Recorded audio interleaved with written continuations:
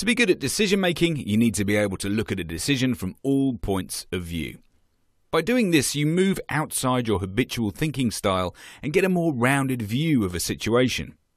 For example, successful people tend to think in a very positive and rational way. It's often the very reason they're successful. But they may fail to look at a decision from an emotional or creative viewpoint. This can mean they underestimate resistance to plans or fail to make creative leaps. In 1985, a Maltese physician called Edward de Bono published a book called Six Thinking Hats. The book described a powerful technique for looking at decisions from a number of important perspectives. The premise of the method is that the human brain thinks in a number of distinct ways, which can be deliberately challenged.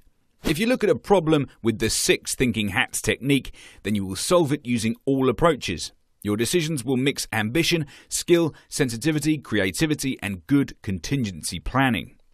So, how do you use the tool? You can use six thinking hats in meetings or on your own. Each thinking hat is a different style of thinking. Let's have a look at what they each mean. When wearing the white hat, you focus on data, study the information you have on the subject, and see what you can learn from it.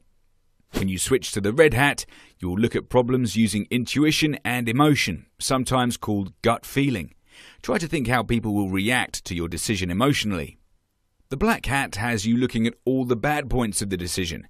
This is important as it highlights the weak points in your plan. Switch to positive thinking when wearing the yellow hat. This will help you focus on the benefits of the decision and the value in it. This can be really useful when everything looks gloomy and difficult. The green hat is all about creativity. Let the creative juices flow and develop creative solutions to problems. Finally, the blue hat is about process control. When wearing this hat, you decide which hat is the most suitable for the stage of decision making. For example, if ideas are running dry, you may decide to switch to the green hat.